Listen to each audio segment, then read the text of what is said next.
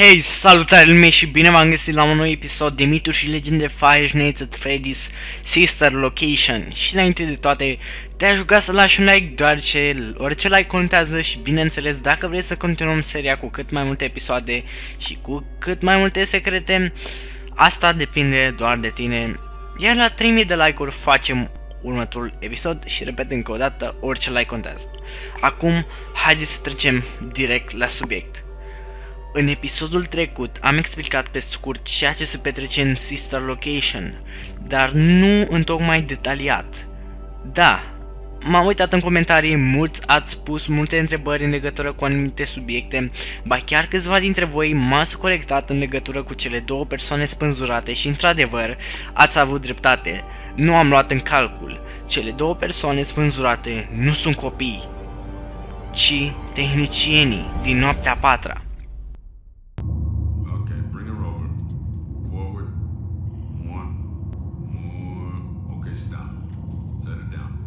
Watch the step. What happened to it this time? Just seems like these things can't go a day without breaking down. Who knows? It's always the same, man.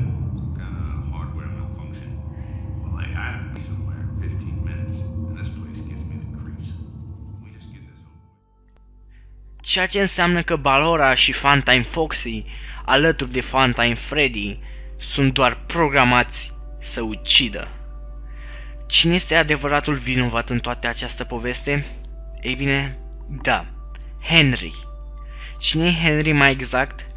Henry este tipul misterios din Five Nights at Freddy's World. El este prezent în minigame-ul în care o descoperim pe Baby. Mai pe înțelesul nostru, Deskman. Vă mai amintiți de Deskman, nu-i așa? Deskman, de fapt, este Henry. Noi ne vom reîntoarce în întuneric. Ceva teribil se va întâmpla. Mintea mea nu este în regulă. Am făcut ceva teribil. Numele ei este Baby. Este prea târziu ca să o dezactivez. Îmi pare rău. Apoi, de nicăieri apărând Baby, iar în final Henry moare. Întrebarea mea este, Henry s-a sinucis sau Baby l-a omorât? Și la ce s-ar referi când a spus noi ne vom reîntoarce în întuneric? Care noi? Baby și Enard. Tot aici Henry a spus că mintea lui nu este tocmai în regulă. Ei bine, da, deoarece el a programat al doilea endoskeleton al lui Baby pentru a-i omorâ fica lui William. Nu pot spune că a fost intenționată uciderea fiicei lui William, deoarece este clar cum în joc fetița se roagă de tatăl său să o lase să se joace cu animatronii. Daddy, why won't you let me play with her? Daddy, you let the other children go see her. Why won't you let me go? Daddy, just once let me go play with her. She's so pretty and shiny. Didn't you make her just for me? ceea ce înseamnă că William o avertizează să stea departe de animatroni. Însă, datorită faptului că Baby ținea în mână o înghețată, fetița a fost atrasă, astfel ea a fost trasă în endoskeletonul lui Baby. Și vă întrebați, care e al doilea endoskeleton? De ce două? Păi să ne uităm atent la detaliile din minigame-ul cu Baby. Baby aici are ochii albaștri, în timp ce în teasere, inclusiv în trailer, uh, prezența ochilor lui Baby sunt verzi. Nu spuneți că nu are legătură, pentru că Baby este total nevinovată. Atât în joc, cât și în ceea ce s-a întâmplat când a fost omorâtă. Păi și de ce Baby avea două endoskeletoane? Henry știa de asta. Endoskeletonul în care a fost prinsă fetița lui William, de fapt, este endoskeletonul lui Enard, cel de acum. Într-adevăr, Enard este format din toate părțile fiecărui animatron din Star Location, însă, bineînțeles, după cum ne spune teaserul lui Enard, There's a little of me in everybody. Este puțin din mine în fiecare. în fiecare animatron din Sister Location. De aceea animatronii din Sister Location te atacă, fiindcă Enard este în fiecare, inclusiv în Baby. Acum vă întrebați de unde știu că endoskeletonul din minigame este al lui Enard? Ei bine, ochii din minigame sunt ochii acestui endoskeleton, care acest endoskeleton este al lui Enard. Este endoskeletonul fără mască. Puteți observa asemănările. Revenind la subiectul de ce ceilalți te atacă, Enard a avut de la început acest plan, fiecare animatron să fie distrus astfel încât să, să se combine. Baby, te-a mințit într-adevăr, însă nu e chiar adevărat. Nu Baby, nu fica ta te-a mințit, ci Enard. Enard se afla în spatele lui Baby când trebuia să descifrezi codul. Endoskeletonul lui Enard vorbea în acea clipă mai exact al doilea endoskeleton. Nu Baby te-a mințit, ci Enard. A avut de la început acest plan de a te omorâ pe tine, pe Purple Guy. Dar cum rămâne cu restul poveștii?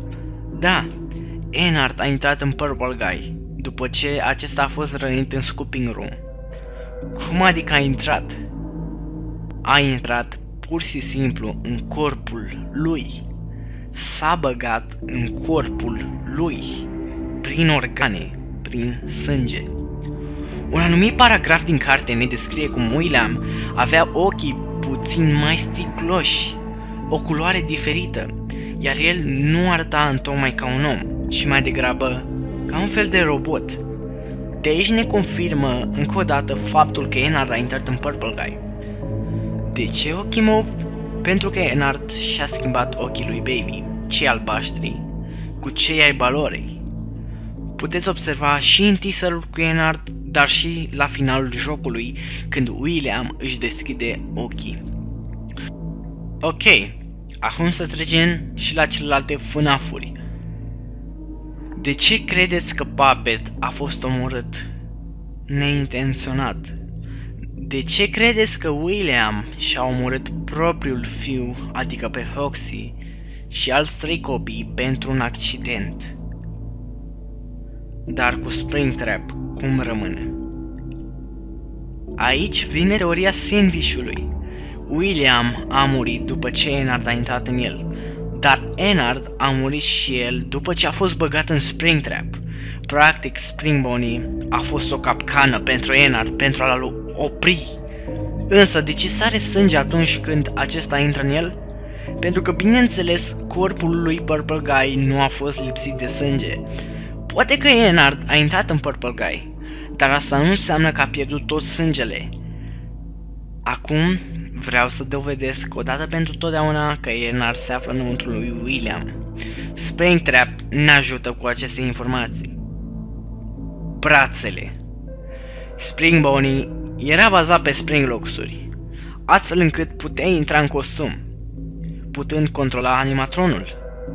Cum de Springtrap are aceste bări ale brațelor din moment ce un om are nevoie de spațiu pentru a controla animatronul? Cum de ochii lui Springtrap strălucesc în întuneric? Ochii normali ai unui om ar fi trebuit deja să putrezească, dar nu, ochii lui încă strălucesc. Cum de nu mai strălucesc în mov? Pentru că Enar, bineînțeles, își poate schimba culoarea ochilor din moment ce în fiecare minigame William are ochii albi de fiecare dată. Era și ciudat ca Enar să umble cu o culoare diferită a ochilor. Um, aici excludem pupilele, care bineînțeles sunt negre, astfel să fie în totală deghizare. De ce credeți că acele fire roșii din interiorul burții sunt prezente? Nu, să nu răspundeți de faptul că Spring Bonnie avea fire, pentru că pur și simplu Spring Bonnie era un costum pe baza pe Spring locuri și atât. Acele fire sunt bineînțeles de la Enard. Și cireaza de pe tort este chiar aici. Priviți cum în interiorul lui Springtrap se află această bară metalică. După ce cartea lui William a fost pe jumătate putrezită, nu a putut altceva să rămână decât unele părți ale lui Enard, fiindcă, bineînțeles, prin locurile au afectat și unele părți ale lui Enard. Însă, bineînțeles, știm bine cu toții că Springtrap a evadat după ce atracția horror a luat foc.